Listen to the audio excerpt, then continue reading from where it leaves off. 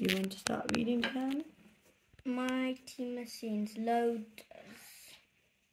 Um, mummy, what does that say? Keep trying to sound it. Um, and Amanda. Amanda Askew. Yes, ask you. Good reading.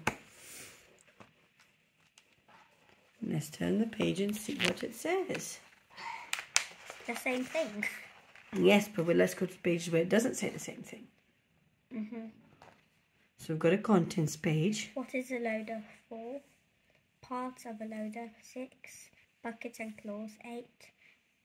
Mines and quarries. Yes. Ten. In the snow. Twelve. Mending roads. Fourteen. In small spaces. Sixteen. On the farm. Eighteen. Biggest and smallest. Twenty. Activities. Twenty-two. Glossary. Twenty-three.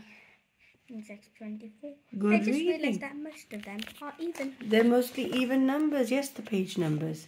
What Right. is a loader? Loaders are tractors with a large bucket on the front.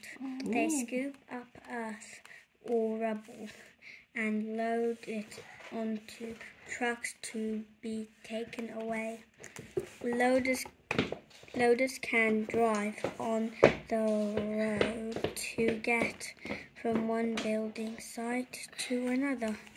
There we go. So this is the loader because it's got a bucket on the front. Mm-hmm. I see. Loaders are used mainly on building sites. Loaders usually have wheels.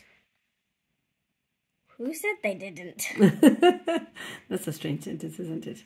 they can move around the building sites site more quickly than other machines. A loader picks up the earth instead of pushing it along the ground like a bulldozer does. Now I know the difference between a loader and a bulldozer.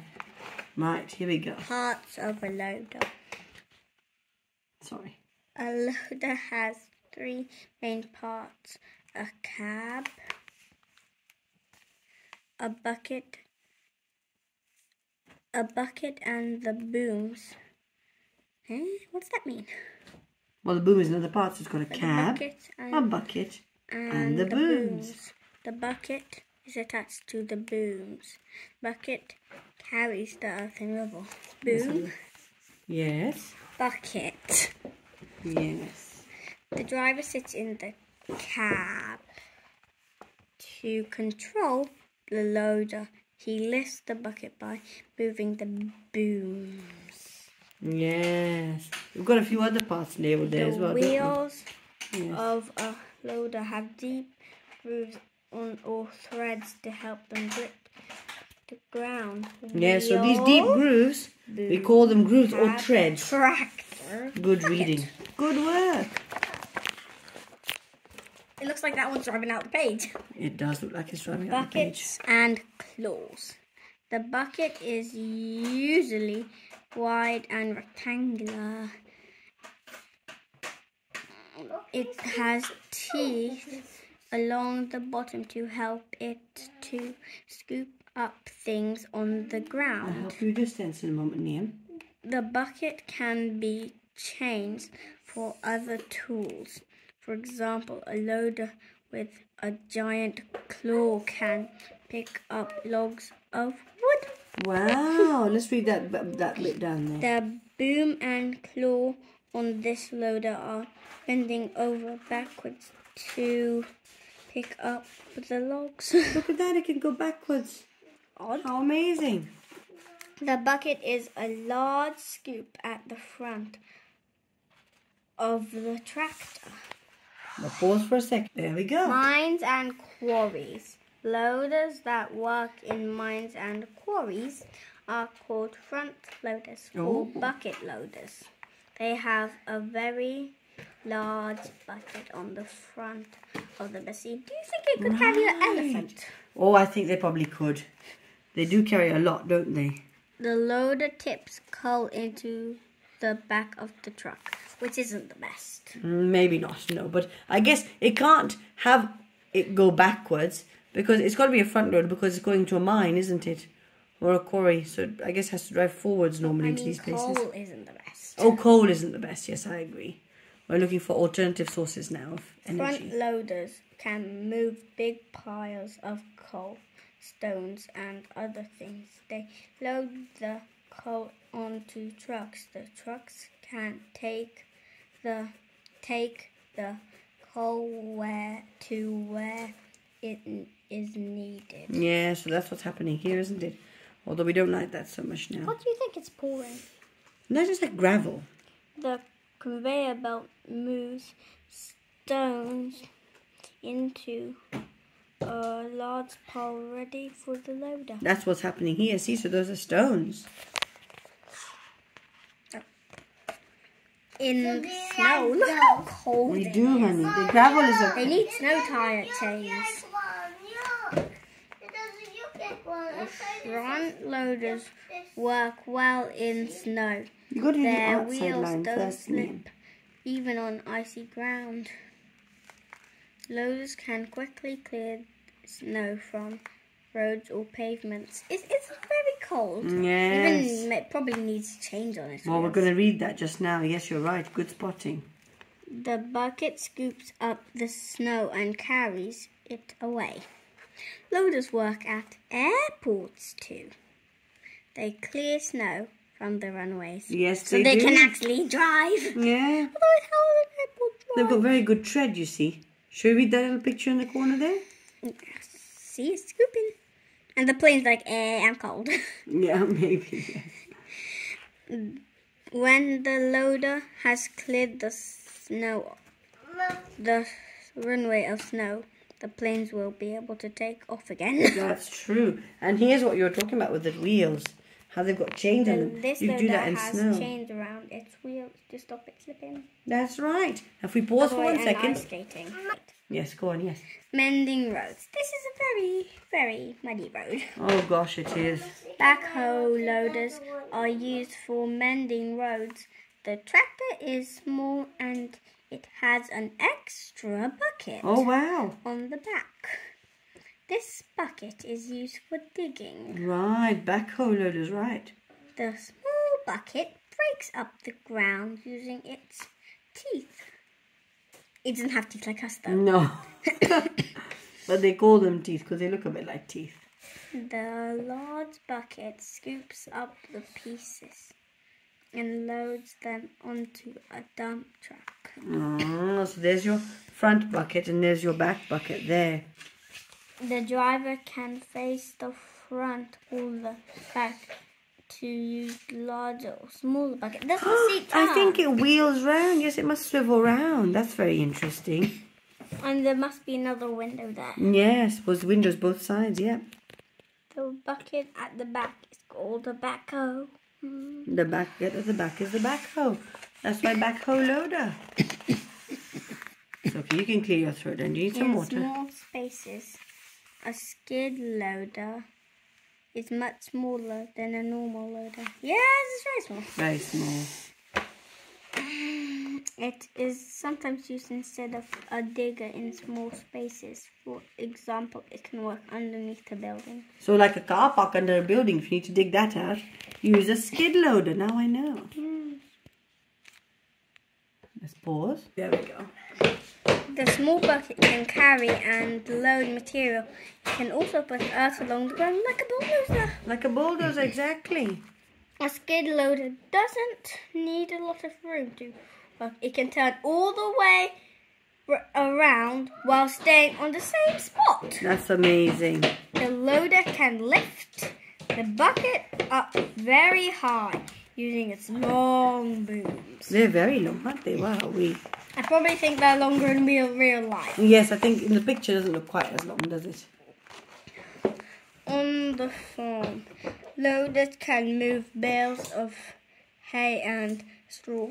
Like in mm-hmm. Tractor Ted, we saw one of these Like this tractor Ted. Oh yeah, we do like tractor when Ted, they had bales. we? Bales of hay, and they're very heavy. Those are. The bucket is taken off, and a long spike is put on it instead. The spike is called a bale spear. Oh, oh, look, these very, very pokey things. The loader My goodness. spikes a bale of hay, then and then it lifts it up. You're making piles of them. My Probably goodness. could poke you guys. Well, yes, I was about to say I don't want to be poked by one of those. I kind of read your mind. The bale spear can have one spike or many spikes. Some spikes are longer than others. Oh dear. Two long spikes are needed to lift big, heavy bales of hay. Ah, There's so got a mixture of spikes, yes. Two, Mm-hmm. three small ones, and one, two, three, four big ones. Yeah, so three small ones at the front and four big ones at the bottom. My goodness. Uh, no, that's the top. And all makes for oh, all makes for a very That's dangerous. Sorry, that's the top. That's, the That's the bottom. You're right. It's already on the front. It's already on the front. Oh, mummy, what do you say? Mm-hmm.